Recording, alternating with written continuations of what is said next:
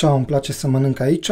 Astăzi mi-am comandat de la Maxi Fast Food și mi-am luat așa un uh, dublu hamburger și o shawarma de pui.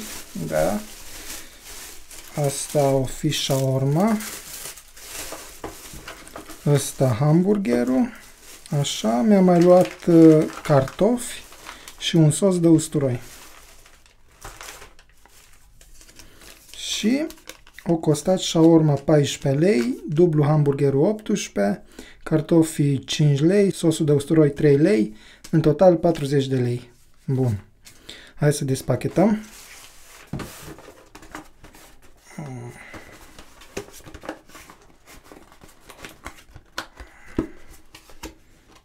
Asta e dublu hamburgerul. Wow. Deci conține așa, carne de vită, sosuri, cașcaval, roșii, uh, salată și nu prea mai văd, ba, și castraveți murați și ceapă. Bun. Și hai să vedem și șaorma de pui.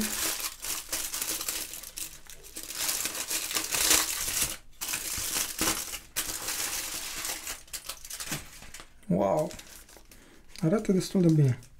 Deci conține cartofi, uh, sosuri, castraveți murați, carnea de pui și nu prea mai văd acum. A, și ceapă aici. Bun, hai să vedem și cartofii.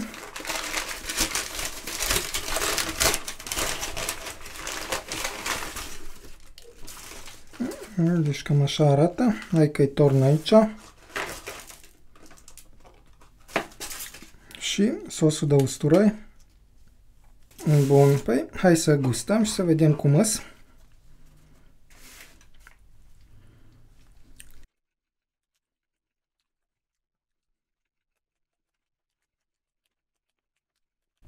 Bun, deci burgerul e ok, n-are nimic sofisticat în el, singur nu l-aș recomanda, din punctul meu de vedere e mai bun dacă îl mâncați cu cartofi și cu un sos, așa singur ar fi destul de sec. Și hai să vedem acum și shawarma asta.